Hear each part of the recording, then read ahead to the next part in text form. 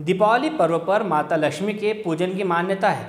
कहा जाता है कि माता लक्ष्मी के पूजन करने से घर में लक्ष्मी का वास रहता है, साथ ही घर में सुख समृद्धि बनी रहती है। बागली में भी रियासत कालीन ऐसा मंदिर है जिसमें स्वयं माता लक्ष्मी भगवान विष्णु के साथ अपने गरुड़ वाहन पर सवार है। इस मंदिर की खास बात यह है कि यहाँ पर माता लक्ष्मी और विष्णु के दो स्वरूपों के दर्शन एक साथ किए जा सकते हैं। ऐसा बताया जाता है कि गरुड़ देवता के ऊपर बैठे हुए माता लक्ष्मी और विष्णु भगवान कहीं कहीं से देखने को मिलते हैं। प्रतिवर्ष अनुसार इस वर्ष भी दीप उत्सव के पाँच दिन पहले से ही पंडितों द्वारा मंत्रोपचार के साथ माता लक्ष्मी का पूजन किया गया और दीपावली के दिन रात भर यहाँ पर हवन पूजन होता है। मंदिर के पुजारी अनिल शर्मा ने बताया कि हमारी पाँच पीढ़ियाँ इस मंदिर की पूजा करती आ रही है। इस मंदिर की मान्यता है कि दीपावली के दिन मंदिर में आकर जो कोई भक्त माता लक्ष्मी को अपने घर चलने का न्योता देता है माता लक्ष्मी उनके साथ उनके घर पधारती है। साथ ही दीपावली की रात्रि पूरी रात यहाँ पर हवन पूजन होता है। बागली से संवाददाता की रिपोर्ट। रियासत कालीन मंदिर है ये? हाँ।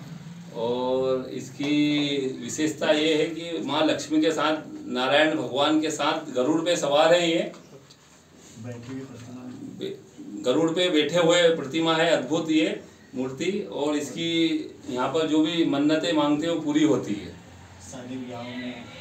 और माँ लक्ष्मी, नारायण भगवान के साथ लक्ष्मी पूजन के दिन सभी जो पीले अक्षर चढ़ा के जाते हैं, उनके घर घर जाकर वास करती है। और उनकी सारी मनोकामना पूर्ण करती है।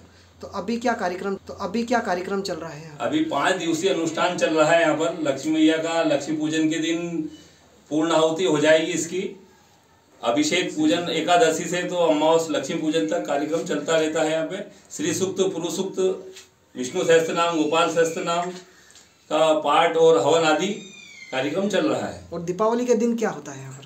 दीपावली के दिन महाआरती पूजन भोग छप्पन प्रकार के भोग लगाए जाते हैं और सा, सारे बागली नगर के दर्शनार्थी दर्शन करने आते हैं। मैया से कामना करते हैं अपनी मनोकामना पूर्ण करने के लिए।